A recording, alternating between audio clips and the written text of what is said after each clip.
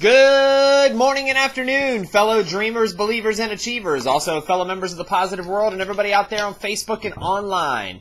Michael Catlow here with our quote for the day for Thursday, April 28th. And as always, got a great quote for you. Today's quote is from the Secret Law of Attraction calendar. And our quote for today is by Charles Haanel. It is the combination of thought and love which forms the irresistible force of the law of nature.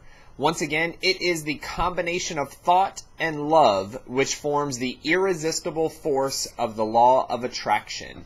So folks, going out there make this absolutely the best, best, best Thursday you've ever had. It's your choice to do so. As you know, this is the only Thursday, April 28th, that will ever take place in 2011. Make it awesome. We'll talk with you tomorrow. Bye-bye.